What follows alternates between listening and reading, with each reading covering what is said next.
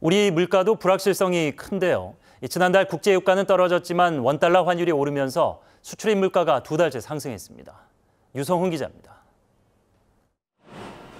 한국은행에 따르면 지난 3월 수출 물가 지수는 117.52로 2월보다 2% 상승했습니다. 수출 물가는 지난해 11월부터 올해 1월까지 석 달 연속 하락하다 2월과 3월에는 오름세를 보였습니다. 화학 제품과 전기 장비, 컴퓨터, 전자, 광학기기 등의 가격이 상승했습니다. 수출 물가 지수는 석유 제품 가격이 내렸으나 환율이 상승하면서 전월보다 오른 것으로 나타났습니다. 3월 원달러 평균 환율은 1,305.73원으로 2월보다 2.8% 올랐습니다. 3월 수입 물가 지수는 2월보다 0.8% 오른 138.86으로 집계됐습니다.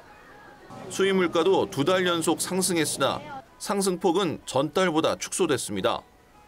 원재료는 광산품을 중심으로 전달보다 1.1% 내렸고 중간재는 화학 제품과 제1차 금속 제품 등의 가격이 올라 1.6% 상승했습니다.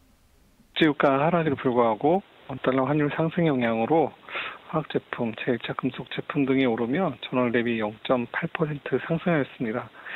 다만 수입 물가의 경우 유가 급등에 따른 기저 효과가 작용하며 1년 전보다 6.9% 내렸고 두 달 연속 전년 동월 대비 하락을 기록했습니다.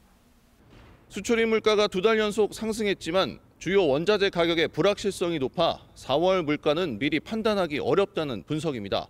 OBS 뉴스 유성훈입니다.